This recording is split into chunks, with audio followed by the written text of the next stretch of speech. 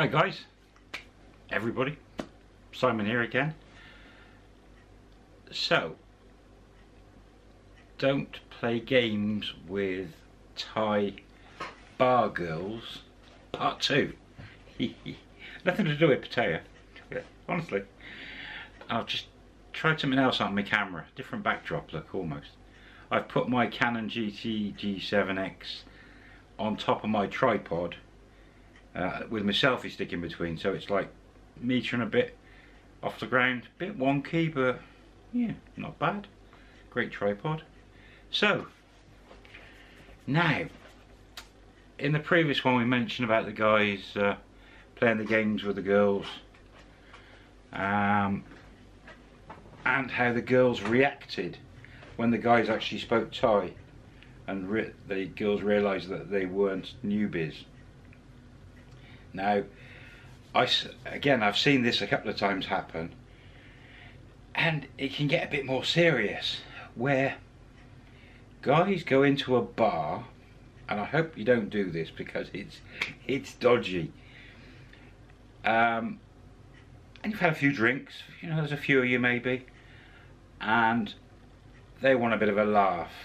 So they're gonna go into a bar and they say, right, let's find the ugliest girl and chat her up. Um, yeah. Now, you've got to remember these girls in the bars are working. And when it's thin on the ground and there's no customers, the uh, and a guy comes in or several guys, and if you are potentially not a pretty girl um, and you get chatted up. Things things can go wrong. Now I saw this firsthand. So one of my girls she wasn't the prettiest. She was quite smart uh, excellent at, you know the little games they play on the bar things you know the Connect 4 and Jenga and I think it was about seven or eight guys come in. And they were they were reasonably drunk and a couple of them made a beeline for this girl. And I thought at the time I was I, I was sat at the back of the bar playing around on the music. And I, I was only a few feet away but I could hear. And yes they're chatting the girl up pretending to be single guys looking for a girlfriend partner companion. And they asked this girl how much money it would cost for her companionship, let's say. Now, if you ask a Thai bar girl a price for something like that, that girl's going to assume, quite rightly, that great, I've got a customer, there's some money going to come in here, can buy my food. You can see where this is going. It builds their hopes up and it gives them a nice feeling. So when the guys turned around and laughed and said, no, we're only joking, we're not interested, you can imagine the disappointment and the reaction now some girls might not, as I said, now uh, similar in the other vlog, might react and just walk away, lose face. This girl lost face because there, there was no customers in the bar at the time, just this group of lads. Plus the other girls sort of were higher up the pecking order than her. Uh, for her to lose face in this way was not good at all. Really not good. Um, and she um, very well controlled. She just sort of quietly she didn't didn't react like that I would thought she would have reacted and just moved away to another table and turned her back on the boys. Um, this is playing girl games with the bar girls it's not good. So what's different? You go to the point where you talk money, it's going over the line a bit. But the thing is, as these guys left the bar, this girl um, decided to go out of the bar. I take it for I thought maybe she's going to get some food um, or something. And I didn't think anything of it, just turned around and carried on with my music until about 40 seconds, 30 seconds later, suddenly heard a lot of shouting down the road. Um, and the girls in my bar shot out the front and down the road towards the beach. And I thought, what on earth is happening? Stepped out of the bar and um, this girl, she didn't want to lose face in the bar with the other girls. She was actually attacking these guys. I think it was with a broom from the bar. But because she'd gone out of the bar and she was having a go at these guys, all my other girls had gone out and joined in. So they were all attacking these poor guys because of the playing the games in the bar.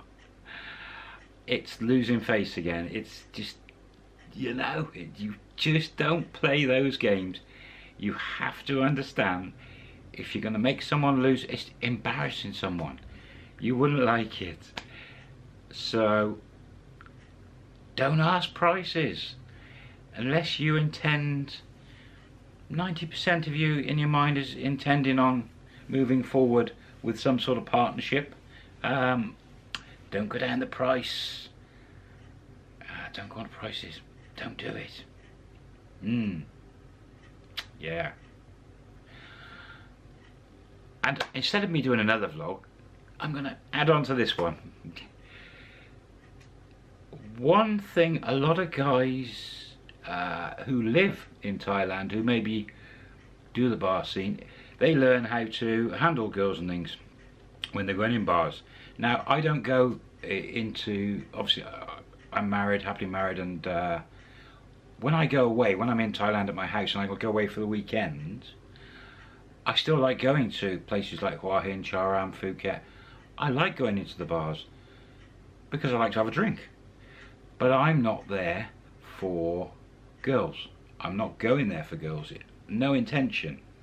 Now I learned this little trick years ago and it was people coming in my bar that were regulars um, or that just been in Thailand a long time.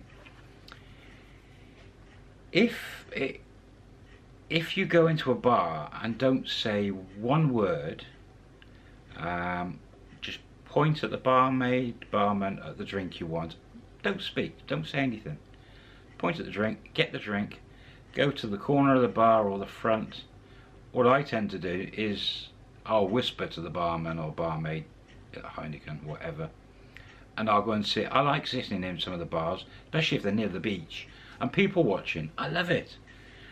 But I want to be left alone, so I'll whisper to, or I'll point at the drink, and uh, go and sit in the corner, front of the bar, wherever, and just don't talk.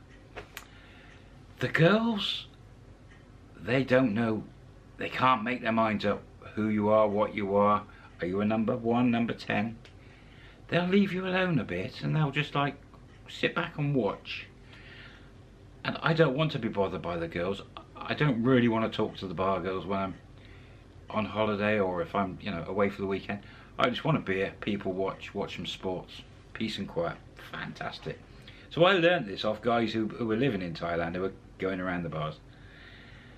If you don't speak at all, uh, the girls will leave you alone.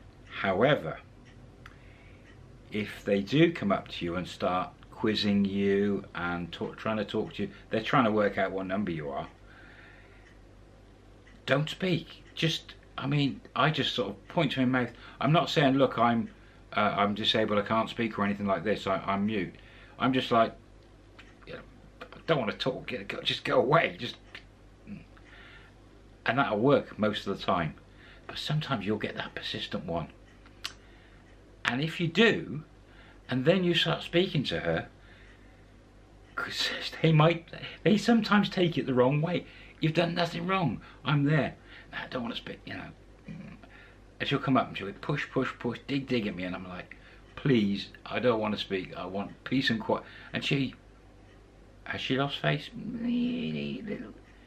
But she can rear up on you. I've had a girl rear up on me for that. And I wasn't playing a game. But guys do go into the bar and play the game where they're sort of, I can't, you know, I've got a problem or whatever, and they don't speak. And then after 10 minutes or so, they start speaking. Then the girls react again. So, there's so many little games that guys try and play. Have you got some games that you play in the in the bars? Have you had a reaction?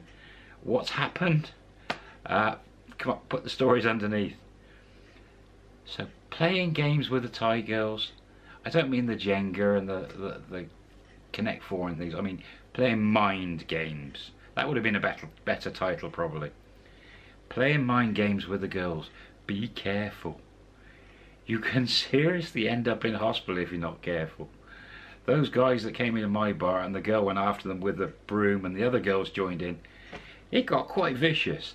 I mean, those guys, luckily, they ran in the end. But when I poked my head out the front of the bar and watched, I'm like, oh, I've just lost seven customers now. Or, um, you know, they're not going to come back again. So, yeah. Mind games with the girls. Don't do it. I bet you've got some great stories, some of you. I bet that's ringing a bell with some of you, what, what you've done. Little tricks and things. Hmm. So, top advice. If you're asking for price, make sure you have a good reason. Don't go playing a game and asking for price because you could get a broom over your head. yeah, good job there was nothing lying around the bar. She could have if there was an axe there, she might have gone down there with an axe and that would have been a hard one to explain. Hmm. Anyway, there we go. I'm sure that's the end now of the of the bar girl scene and Pattaya and videos, okay? Maybe. I'll see you next time. Bye for now.